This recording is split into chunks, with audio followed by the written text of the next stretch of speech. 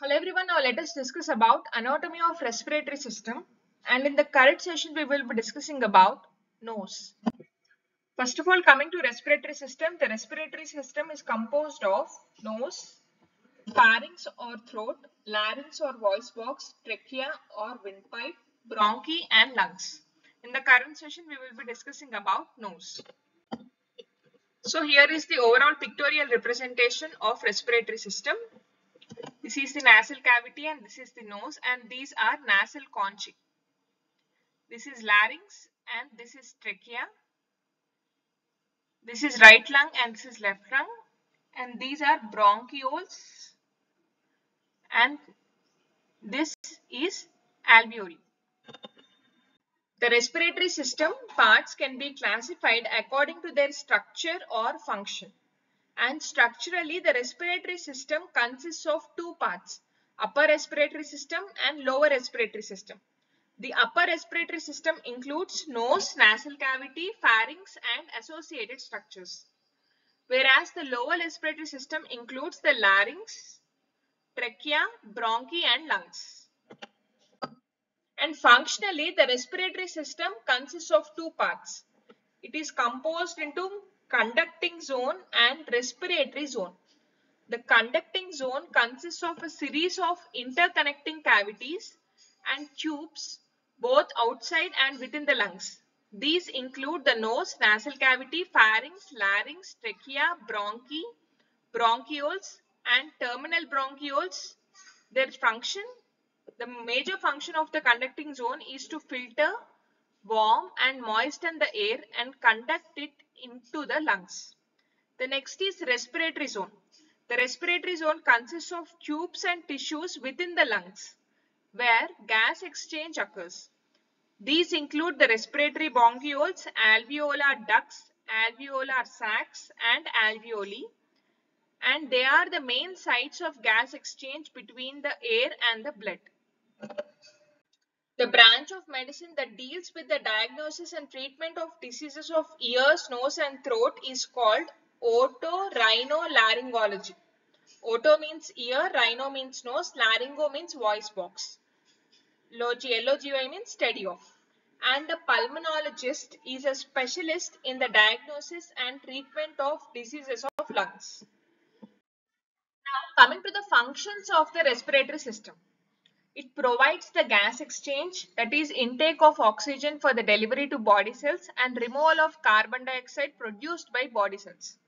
It helps regulate the blood pH and the respiratory system contains receptors for sense of smell, filters the inspired air, produces vocal sound that is phonation and excretes small amount of water and heat. These are the various functions of respiratory system. Now here you can see this is the nose and inside this internal nose is nasal cavity. This part is pharynx and this is the larynx. This is trachea and this is the right primary bronchus. These are the right lung and the left lung respectively. Now coming to nose. The nose is a specialized organ at the entrance of the respiratory system that is divided into external portion and an internal portion which is called as nasal cavity.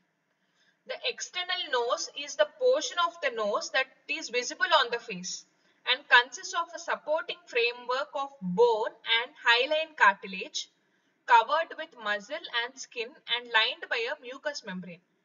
The frontal bone, nasal bones and maxillae form the bony framework of the external nose. The frontal bone, nasal bones and the maxillae, they form the bony framework of the external nose. And the cartilagian, cartilaginous framework of the external nose consists of septal nasal cartilage which forms the anterior portion of the nasal septum, the lateral nasal cartilages inferior to nasal bones and the alar cartilage which forms a portion of the walls of the nostrils. Because it consists of pliable hyaline cartilage, the cartilaginous framework of the external nose is somewhat flexible. And on the undersurface of the external nose are two openings. called as external nares or nostrils.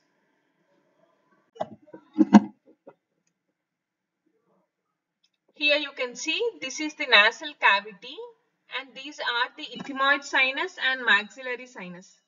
This is frontal sinus. This is a eustachian tube opening. This part is considered as completely pharynx. It is divided into nasopharynx, oropharynx and laryngopharynx and this is larynx. And these are the inferior turbinates, middle terminal and superior turbinates. The interior structures of the external nose has three functions.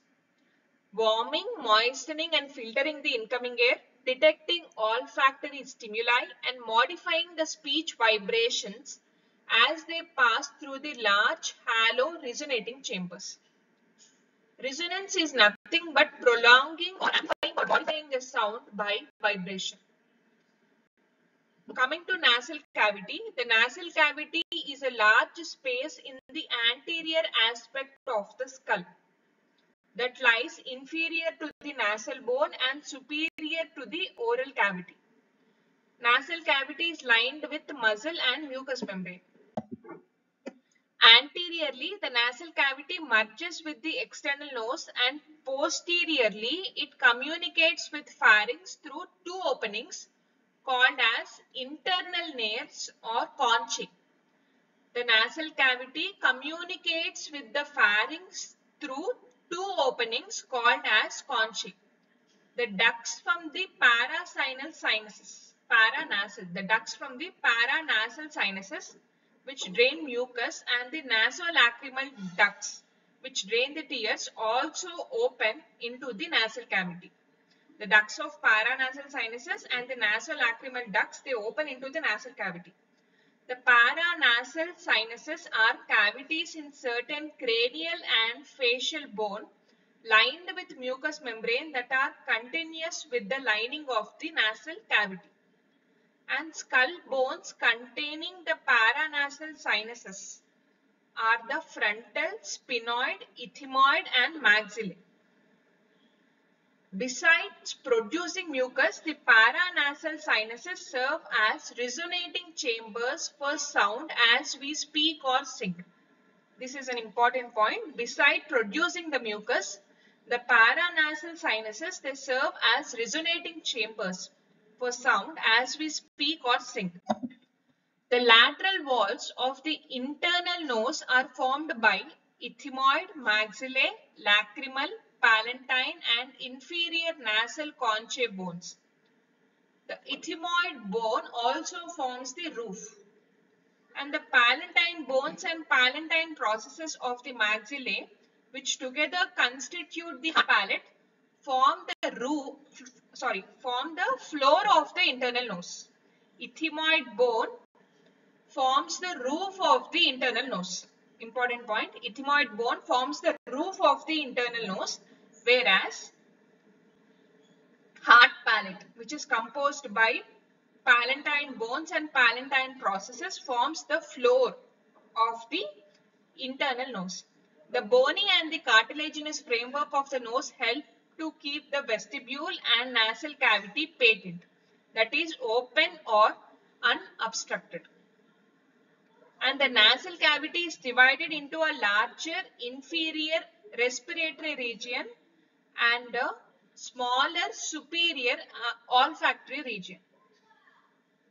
Superior region of the nasal cavity is the olfactory region. It is a little bit smaller. The inferior region of the nasal cavity is larger and it is the respiratory region. The respiratory region is lined with pseudostratified ciliated columnar epithelium with numerous goblet cells which is frequently called the respiratory epithelium. And the anterior portion of the nasal cavity just inside the nostrils is called as nasal vestibule. It is surrounded by cartilage. The superior part of the nasal cavity is surrounded by bone. And the vertical partition, the nasal septum, divides nasal cavity into right and left sides. The vertical partition, a nasal septum, divides the nasal cavity into right and left sides. The anterior portion of the nasal septum consists primarily of hyaline cartilage and the remainder is formed by vomer, perpendicular plate of the ethmoid, maxillae and palatine bones. Now, when air enters the nostrils, it passes first through the vestibule, which is lined by skin containing coarse hairs that filter out large dust particles. Three shelves formed by the projections of superior, middle and inferior nasal conchae, they extend out of each lateral wall of the nasal cavity. The conchae almost reaching the nasal septum subdivide each side of the nasal cavity into series of groove-like passages.